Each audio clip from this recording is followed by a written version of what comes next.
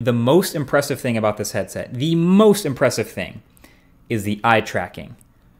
I'm not even kidding. This this eye tracking is sick. So basically, the eye tracking in this headset, as it looks at your eyes and keeps track of where your eyes move around, is the closest thing that I've experienced to like magic. Like I don't, I normally don't call tech things sort of magical or surreal like this, but this was even for a pre-release product kind of unbelievable how well it does. Anytime you move your eyes around the UI, it would immediately highlight and select exactly what you're looking at, no matter how small the target was or what you're looking at.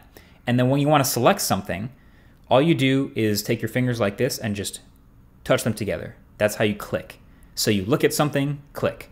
Look at something, click. So there's actually there's a calibration process when you first set up the headset, you put it on for the first time, where you basically just look around with your eyes at a bunch of different dots so it learns your eyes and then, yeah, from that point on, you're just cruising, you're sailing through everything.